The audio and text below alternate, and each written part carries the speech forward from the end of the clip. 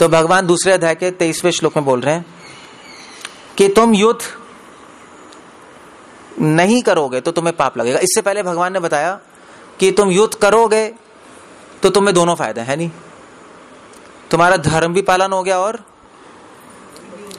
भक्ति भी हो गई। फ़ायदा है? वैसे अर्जुन, तुम्हें धर्म से, तुम धर्म से आसक्त नहीं हो, मुझे पता है, मगर फ़ायदा तुम्हें दोनों। मगर अगर तुम युद्ध नहीं कर रहे तो तुम्हें, एक तो धर्म तोड़ने का पाप लगेगा, और तुम योद्धा के रूप में भी अपना यश खो दोगे तुम्हारी बेइज्जती भी होगी, धर्म तोड़ने का पाप नहीं लगेगा। धर्म तोड़ने का पाप क्यों लगेगा? क्योंकि युद्ध करना तो भगवान की भक्ति है ना। भक्ति तो उसने छोड़ दी। भक्ति छोड़ के अगर धर्म पालन नहीं करोगे तो पाप लगेगा। मैंने ये समझाया था अभी। जो भक्त नहीं है, उनके लिए धर्म तोड़ना पाप है। जो भक्त है, वो भगवान की सेवा के लिए धर्म तोड़ेंगे, कोई पाप नहीं है।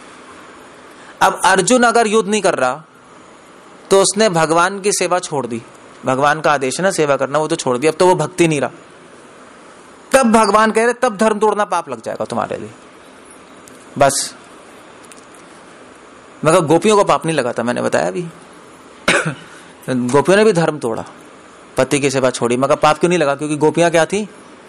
भक्त थी, उन्होंने सेवा के लिए छोड़ा। अर्जुन को इसलिए भगवान कह रहे हैं, पाप लगेगा। तो इस श्लोक से नहीं समझना चाहिए कि अगर हम धर्म पालन करेंगे तो हमें पाप नहीं लगेगा, ज़रूरी नहीं है। अगर भक्ति नहीं कर रहे तो धर्म पालन करो, या धर्म पालन नहीं करो, फिर भी पाप लगता है। मगर अगर भक्ति नहीं कर रहे तो धर्म पालन करना ज़्यादा बेटर है। अधर्म पालन करोगे तो तो गड़बड़ी हो जाएगी। कुछ तो चूज़ करना पड़ेगा ना। धर्म चूज़ कर लो, ज़्यादा अच्छा है। अल्टीमेटली पाप है।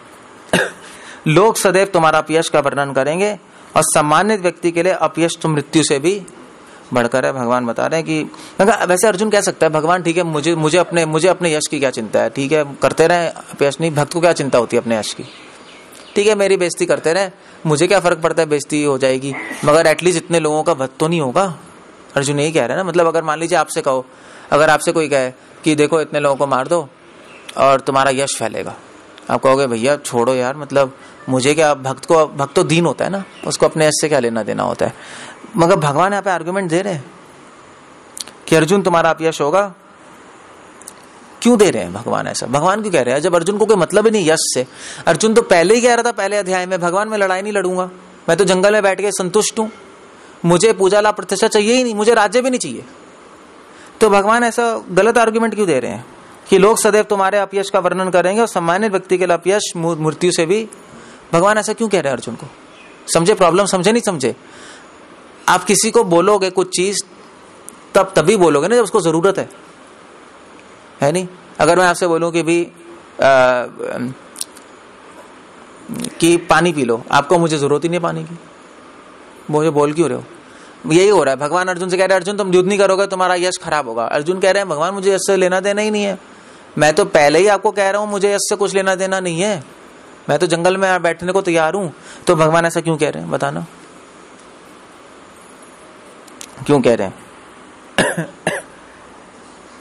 प्रभुपा तात्पर्य में लिख रहे हैं, पढ़ लो। अब अर्जुन के मित्र तथा गुरु के रूप में भगवान कृष्ण अर्जुन को युद्ध से विमुख न होने का अंतिम निर्णय देते हैं। वे कहते हैं, अर्जुन, यदि तुम युद्ध प्रारंभ होने से पूर्व युद्ध भूमि छोड़ दोगे तो तुम्हें लोग कायर कहेंगे। और यदि तुम सोचते हो कि लोग गाली देते रहे, किंतु तुम युद्ध भूमि से भागकर अपनी जान बचा लोगे तो मेरी सलाह यह है कि तुम युद्ध में मर जाना ही श्रेष्ठ कर होगा। तुम जैसे सामान्य व्यक्ति के लिए अपकीर्ति मृत्यु से भी बुरी है। अतः तुम्हें भागना नहीं चाहिए, युद्ध में मर जाना ही श्रेष्ठ कर है। वेल well, अभी भी अर्जुन का आर्ग्यूमेंट है कि ठीक है मुझे गाली देते रहे उसमें क्या है? मगर प्रॉब्लम यहाँ पर यह है कि अर्जुन कौन है? अर्जुन को लोग क्या जानते हैं? केवल क्षत्रिय नहीं जानते अर्जुन को क्या जानते हैं? भक्त। अर्जुन को तो यही कहते हैं ना कृष्ण का भक्त है। सो so, भगवान कह रहे हैं अर्जुन तुम्हारी बेइज्जती होगी तो किसकी बेइज्जती होगी? एक्चुअली मेरी होगी। ठीक है तुम्हें कोई मतलब नहीं है गाली खाने से। मगर तुम्हें लोग कायर कहेंगे तो लोग यही कहेंगे ना, देखो कृष्णा ने ही सिखाया इसको। कृष्णा की बेजती होगी। इसलिए हमें अब कोई मतलब नहीं है, भक्त को कोई मतलब नहीं होता कि मेरी बेजती हो। मगर फिर भी भक्त ऐसा कोई काम नहीं करता कि जिससे कोई बेजती हो, क्योंकि उसको अपनी अपनी, अपने बेजती से मतलब नहीं उसको किसकी बेजती से मतलब है? भगवान की। इसलिए भक्तों को बहुत केयरफुल होना चाहिए अपने, जो भी हम कर रहे हैं ना सोसाइटी में।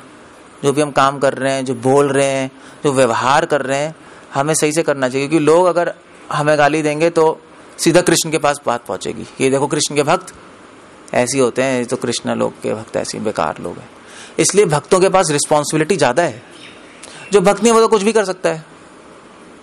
वो तो कुछ भी कर ले क्या है उसको दो गाली पड़ेगी, किसी की, उसकी बेइज्जती हो रही है, बाकी कोई कोई परवाह नहीं है। तो इसलिए जो, जैसे मान लीजिए जो राजकुमार है, उसको ध्यान से व्यवहार करना पड़ता है ना, क्योंकि क्योंकि या या जो या जो राजा के मंत्री होते हैं, जो जो कर्मचारी होते हैं, उनको ट्रेन किया जाता है भी सही से करो। क्योंकि तुम अभी किसके प्रतिनिधि हो? राजा के, है नहीं? जैसे आपके कैंटोनमेंट एरिया में अगर कोई सैनिक कोई गलत काम कर दे तो किसकी बेइज्जती होगी? पूरे मिलिट्री वालों को जाएगी। कि यार मिलिट्री वाले ऐसे ही हैं। काम उस सैनिक ने किया है। अब अब किसी का दिमाग कैसे कोई रोक लोगे? तो मिलिट्री वाले कहेंगे, हमें क्या पता यार, उसका दिमाग खराब हो गया। मगर लोग तो ये कहेंगे ना, आपके मिलिट्री वाले में काम कर रहा था, आपने ट्रेनिंग नहीं दी उसको सही से? तो यही बात है। अगर आप कुछ गलत काम करोगे तो वैसे तो किसी का भी दिमाग खराब हो सकता है। मगर लोग कहेंगे कि देखो, भगवान ने अभी इनकी गीता में ऐसी लिखा है, बकवास सब लिखा है तो ऐसी व्यवहार करते रहते हैं।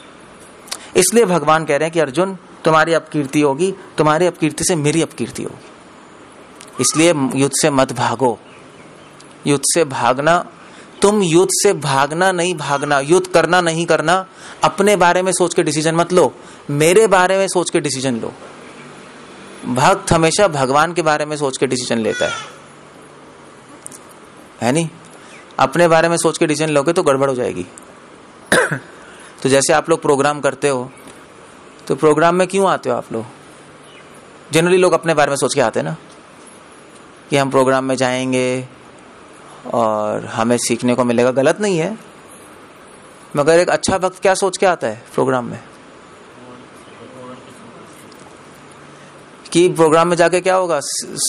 कथा सुन के क्या होगा भगवान की? सेवा होगी। सेवा कैसे होगी? सेवा कैसे होगी भगवान की? है? ठीक है, भगवान की कथा सुनेंगे, सेवा में उत्साह आएगा, वो बात अलग है। मगर भक्त सोचते है कि अगर मैं भगवान की कथा सुनने नहीं जाऊँगा, जो नया भक्त है ना, वो केवल भगवान के बारे में सोचता है। जो एडवांस डिवोटी है, वो किसके बारे में सोचता है? भगवान और वैष्णवों के बारे में। नया भक्त को भगवान से मतलब है बस। भगवान को भोग लग गया? हाँ लग गया। ठीक है।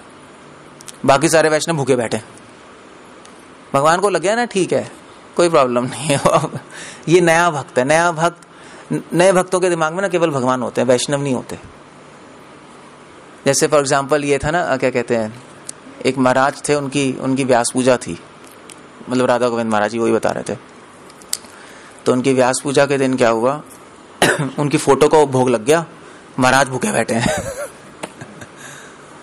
तो उन्होंने कहा, भाई तुमने सब व्यास पूजा कर ली मेरे फ़ोटो वोटो को भूख लगा दिया मैं भूखा बैठा हूँ ये हो क्या रहा है ये?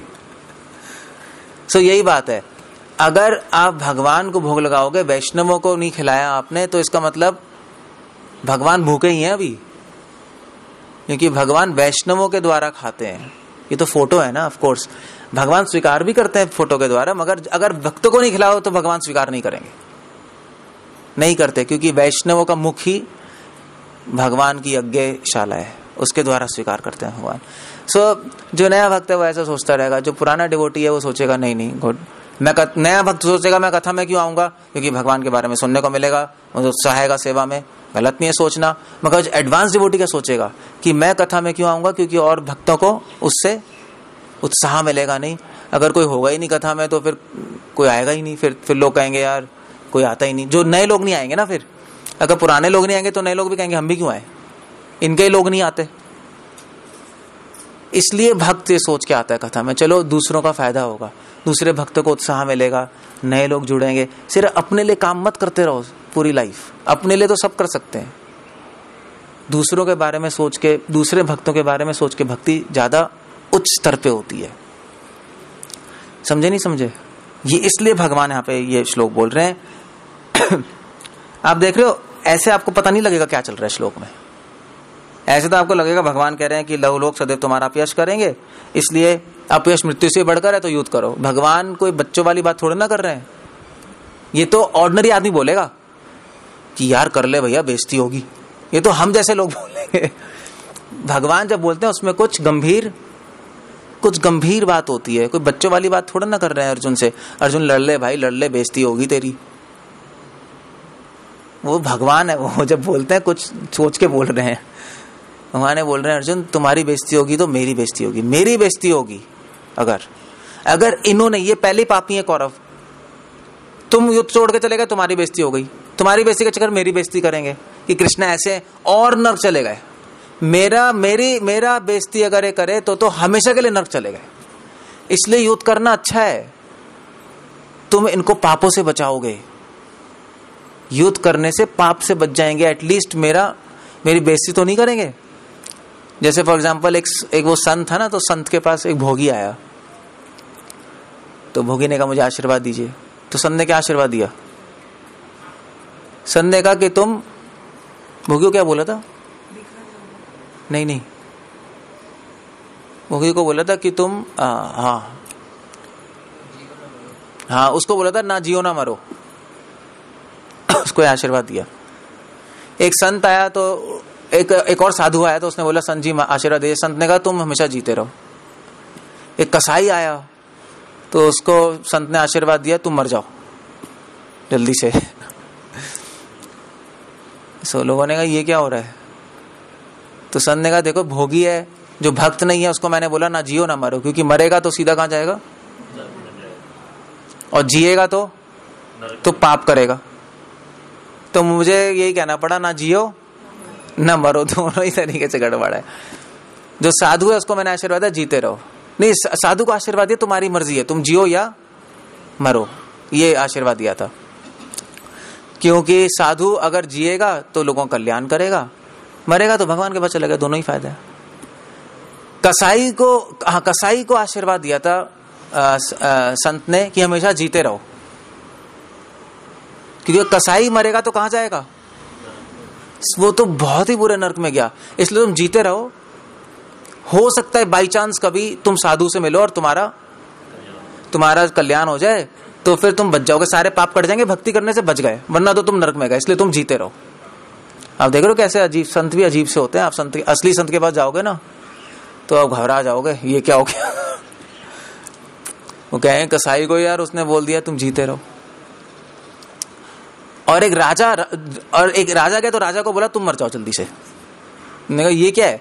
तो उसने बोला, संत ने बोला, देखो भी राजन, तुमने अभी तक लोगों के लिए काम किया, कुएँ खुदवाए पुण्य किया है तुम जल्दी मर जाओ तो तुम्हें स्वर्ग की प्राप्ति होगी। अब तुम और ज़िले और पाप में फंस गए तो फिर गड़बड़ हो जाएगी।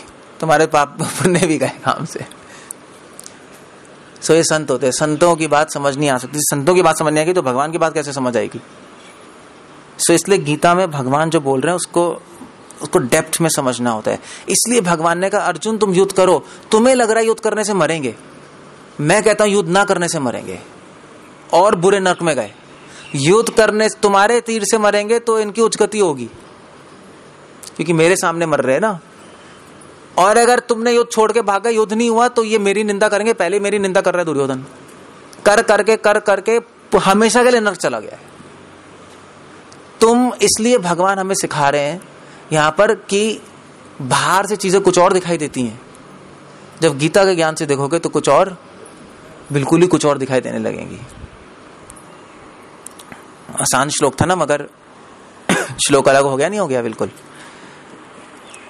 और फिर भगवान कह रहे जिन जिन महान योद्धाओं ने तुम्हारे नाम तथा यश को सम्मान दिया है, वे सोचेंगे कि तुम्हें डर के मारे युद्ध भूमि छोड़ दी, और इस तरह मैं तुम्हें तुच्छ मानेंगे। भगवान वो लॉजिक दे रहे हैं, आगे बस लॉजिक ही समझा रहे तुम्हारे शत्रु अनेक प्रकार के कटु शब्दों से तुम्हारा वर्णन करेंगे, तुम्हारी सामर्थ्य का उपहास करेंगे। तुम्हारे लिए इससे दुखदाई और क्या हो सकता है? भगवान ये भी बता रहे हैं, अर्जुन, तुम्हारी बेइज्जती होगी तो तुम्हें तो दुख नहीं होगा मगर मुझे दुख होगा। ये भी पॉइंट है, नहीं? क्योंकि भक्त की बेजती होती तो भक्त को तो कोई दुख नहीं होता। तो किसको दुख होता है? कृष्ण को तो है। तो अर्जुन से कह रहे हैं, कृष्ण, तुम युद्ध कृष्ण कह रहे हैं अर्जुन से, अर्जुन, तुम युद्ध करो। मुझे पता है तुम्हें अपने मान सम्मान की कोई इच्छा नहीं है। वैष्णव को कभी नहीं होती। मगर तुम करो, क्योंकि तुम्हें कटु शब्द बोलेंगे, और वह कटु शब्द सीधा मेरे हृदय पे लगेंगे। अब मुझे गुस्सा आएगा। और अगर मुझे गुस्सा आ गया तो हमेशा के लिए नर्क में चले गए।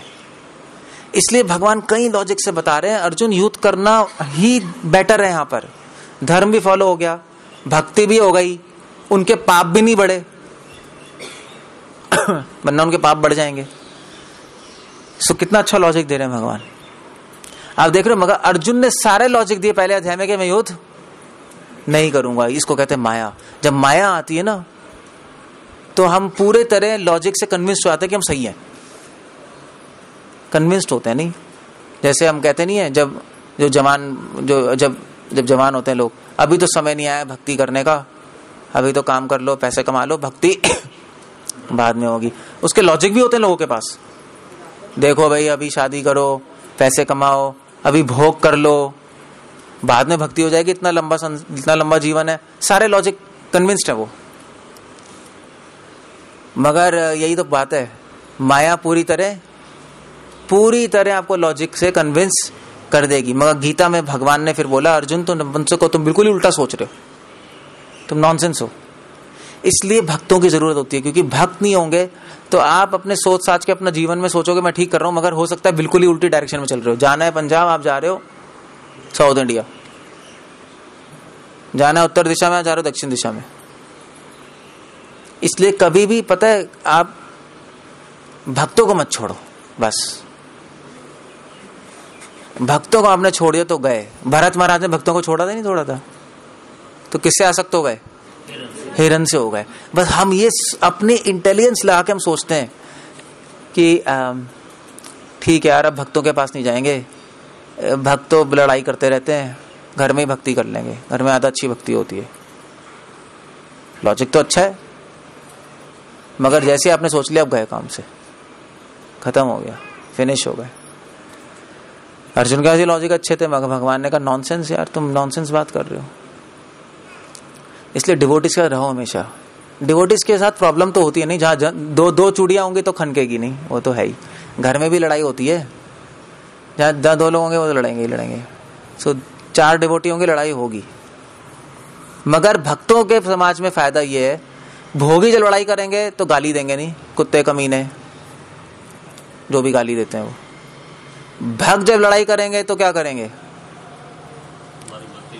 तो भी गाली देंगे मगर क्या वो देंगे तू कंस है तू रावण है एटलीस्ट भगवान की लीला तो याद आ रही है. सो so, भक्तों के समाज में बहुत फ़ायदा है। सब कुछ भगवान से भगवान से कनेक्टेड होता है। वहाँ जो अभक्त के समाज में तो कुछ भी भगवान से कनेक्टेड नहीं है। वो तो बिल्कुल नॉनसेंस संसार है। कृष्ण का संसार बहुत अच्छा है। सो so, इसलिए भगवान यहाँ पे समझा रहे हैं कि अर्जुन मेरे मतलब अर्जुन को तो कह रहे हैं अर्जुन तुम्हें कुछ होगा तो मुझे दुख होगा। सो so, इसलिए मेरी सेवा करो मेरे भक्तों के रह के सेवा करो नहीं। न तुम गलत डिसीज़न ले लोगे। गलत डिसीज़न लोगे तो किसको दुख होगा? भगवान को दुख होगा।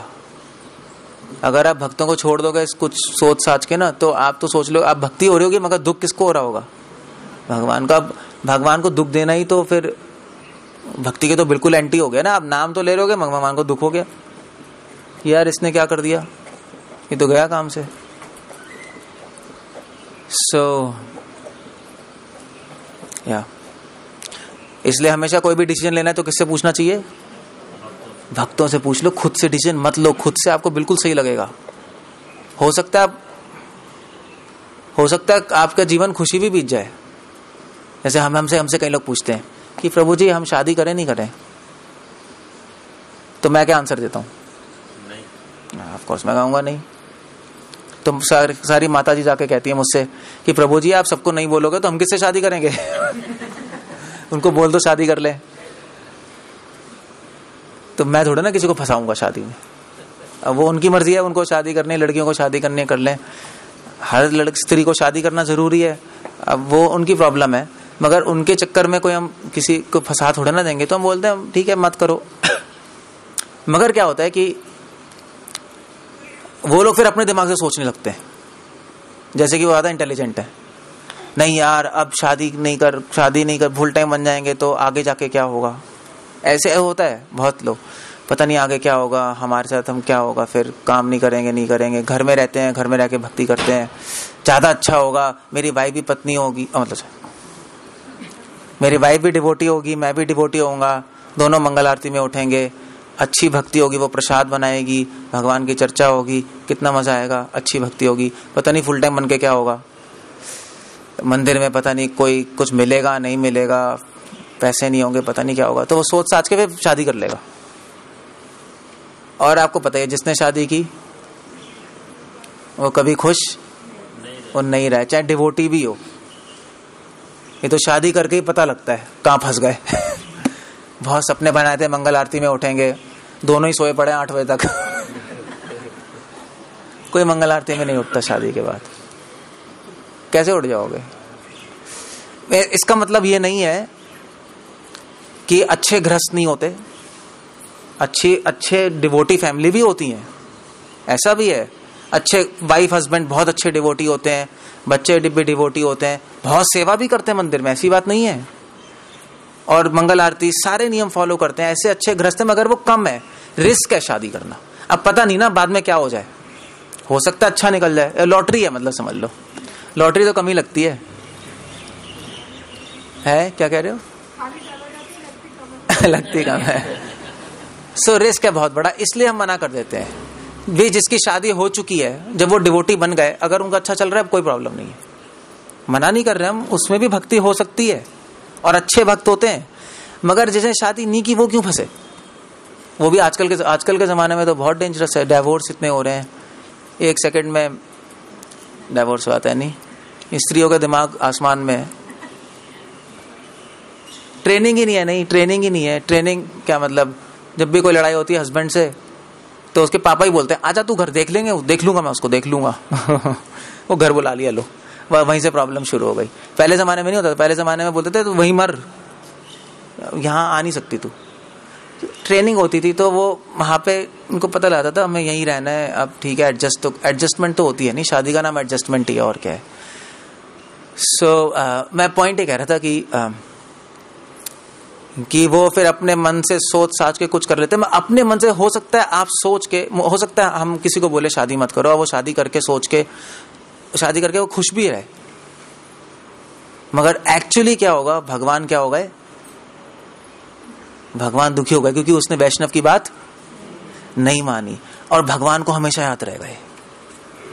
और उस बात के लिए हो सकता है भगवान आपको भग... अपने पास नहीं आने देंगे, क्योंकि आपने ये नहीं सीखा कि वैष्णव गोलोक जाके क्या करोगे? वैष्णव की तो बात मानोगे? अगर गोलोक में जाके आपने वैष्णव की बात नहीं मानना करी तो फिर क्या करोगे? वहाँ तो लड़ाई हो जाएगी। वहाँ कहेंगे तू आया क्यों है भैया? तूने ट्रेनिंग क्यों नहीं ली वैष्णव की बात मानना? सो so, इसलिए हम भी ऐसे हरेक को नहीं बोलते कि शादी मत करो क्योंकि हमें पता है कि अगर वो हमारी बात नहीं मानेगा तो फिर भगवान के पास जाना का उसकी उसका ब्लॉक हो गया नहीं जा सकता वो। इसलिए जो वैष्णव है बहुत सोच के बोलते हैं। इसलिए जो गुरु है ना, जो जो है, वो ऐसे नहीं बोलते। जिनको उनको लगता है कि ये नहीं रह पाएगा शादी के बिना, उसको बोल देते हैं, शादी कर लो। कि आज्ञा का उल्लंघन नहीं हुए। मगर जिसको उनको लगता है कि ये कर कर पाएगा, उसको बोल देते हैं कि मत करो। उसको बोल देते हैं। अब वो फिर भी कर ले तो फिर तो उसके लिए प्रॉब्लम हो गई। मगर पता है प्रॉब्लम क्या होती है? हम जिसको बोलते हैं मतलब मान लीजिए जिसको हमें लग रहा है कि शादी ये के बिना नहीं रह सकता, हम बोलते हैं, शादी कर लो। तो दूसरे सोचते हैं, प्रभु जी ने इनको बोल दिया। तो ठीक ही होगा फिर। मगर ठीक नहीं है वो। ठीक नहीं है। प्रभुपाद जी ने ऐसा बहुत, प्रभुपाद जी ने कई भक्तों को बोला, शादी कर लो। कई भक्तों को बोला है। प्रभुपाद ने खुद शादी कराई है। खुद शादी कराई है। तो इसका मतलब क्या प्रभुपाद समर्थन कर रहे थे क्या? प्रभुपाद ने कितने लोगों को बोला, तुम शादी मत करो और रहो, सेवा करो। मत करना कभी। सो अलग अलग लोगों के लिए अलग अलग ऑर्डर्स थे। ऑर्डर फॉलो करना ही जीवन का लक्ष्य है। जिसको गुरु बोल रहा है, शादी कर लो। वो शादी करके भक्ति कर रहा है, वो भगवान के पास चला जाएगा, क्योंकि उसने किसकी आगे फॉलो की? गुरु की। शादी करना ना करना अपने में कोई बड़ी बात नहीं है। उसके, वो मैटर नहीं करता। मैटर करता आप ऑर्डर्स फॉलो कर रहे हो, नहीं कर रहे हो। मैटर वो है। इसलिए भगवान कह रहे हैं, अर्जुन, युद्ध करो। तुम बेवकूफ़ हो। तुम अपने मन से चल रहे हो। मैं युद्ध नहीं करूँगा। हो सकता है युद्ध ना करने से अच्छा हो जाए। हो सकता है युद्ध ना करने से दुर्योधन भी कहे चलो अच्छा है ठीक है यार युद्ध नहीं हुआ। अब ठीक है अब आराम से रह लेते हैं। क्या करना है? हो, हो सकता था नहीं? दुर्योधन का दिमाग दुर्योधन कहता यार अब ये तो गड़बड़ हो गई। अब इसलिए चलो छोड़ो सबको सलाह कर लेते हैं आराम से रह लेते हैं। भगवान ने कहा हो सकता है ऐसा हो जाए तुम्हारे डिसीज़न से युद्ध ना करने से अच्छे हो जाए। मगर मेरा डिसीज़न है कि युद्ध होगा। अगर तुम्हारे डिसीज़न से अच्छा भी हो जाए तब भी वो बुरा है। इसलिए कृष्ण यहाँ पर इन श्लोकों में कृष्ण यही समझा रहे हैं। वैष्णव और गुरु की बात मानना ज़रूरी है ज़रूरी है। जेम्स बॉन्ड बनने की कोशिश मत करो। सुपरमैन सुपर गर्ल भक्ति में कुछ नहीं होता। वो संसार में होता है। ओके, सो यहाँ पे भगवान ने सेक्शन खत्म सेक्शन यहाँ खत्म ही हो गया। थर्टी सेवन श्लोक में बोल रहे हैं कुंती पुत्र यदि तुम युद्ध में मारे जाओगे तो स्वर्ग प्राप्त करोगे, और यदि तुम जीत जाओगे तो पृथ्वी के साम्राज्य का भोग करोगे। भगवान अर्जुन को लालच नहीं दे रहे युद्ध करने के लिए। पॉलिटिशियन नहीं है भगवान। मगर भगवान ये कह रहे हैं कि दोनों तरह से फ़ायदा आता है। दृढ़ संकल्प करके खड़े हो और युद्ध करो। तुम सुख या दुख, हानि या लाभ, विजय या पराजय का विचार किए बिना युद्ध के लिए युद्ध करो। ऐसा करने पर तुम्हें कोई पाप नहीं लगेगा। थर्टी एट श्लोक में फिर भगवान तो भगवान ने मैं गीता का सार है ना? तो भगवान ने पहले आत्मा और शरीर की चर्चा की। अब फिर भगवान ने यहाँ पे चर्चा की। क्या चर्चा की? कि गुरु और वैष्णव की आज्ञा मानना ज़रूरी है। उससे दोनों ही लाभ होंगे। धर्म भी हो जाएगा और भक्ति भी हो गई। अब भगवान दूसरा टॉपिक शुरू कर रहे हैं यहाँ पर कि भगवान की सेवा कैसे की जाती है? अर्जुन के लिए सेवा क्या थी? युद्ध करना। हमारे लिए सेवा क्या है? अभी चैंटिंग करना, प्रचार करना, ये सेवा है ना? तो मगर सेवा करने के वक्त कुछ सोचना भी तो पड़ेगा माइंड भी तो चलेगा। सेवा करते वक्त, सेवा की क्रिया करते वक्त क्या सोचना चाहिए मन में? अब भगवान वो सिखा रहे क्योंकि आप सेवा कर रहे हो, मन कहीं और भाग रहा है, कहीं और ही चलता जा रहा है। आप सेवा कर रहे हो और आप मन में सोच रहे हो, यार सेवा करके मुझे फिर डबल प्रॉफिट मिलेगा। तो गलत है ना फिर? सेवा करूँगा, फिर मुझे पैसे मिलेंगे। ये तो गलत है ना। तो क्या सोचना है? भक्त की मानसिकता क्या होती है? उस क्रियाओं के पीछे। अब वो सिखाएँगे भगवान दूसरे अध्याय में, भगवान कई टॉपिक्स को छू रहे हैं। अगर आप दूसरा अध्याय समझ लोगे तो आप पूरी गीता समझ लिए। मगर प्रॉब्लम यह है कि अगर शुरू में कुछ सुनते हैं तो इमीडिएटली समझ। इसलिए भगवान दूसरे अध्याय को एक्सप्लेन कर रहे हैं आगे गीता में। दूसरे अध्याय की एक्सप्लेनेशन है पूरी गीता। मगर बुद्धिमान व्यक्ति यही समझ के समझ जाएगा, कोई प्रॉब्लम नहीं है। सो so, कल हमें डिस्कस करेंगे कि आगे भगवान और क्या समझाना चाहते हैं। हरे कृष्णा। कुछ पूछना है कुछ कहना है? आई स्टॉप है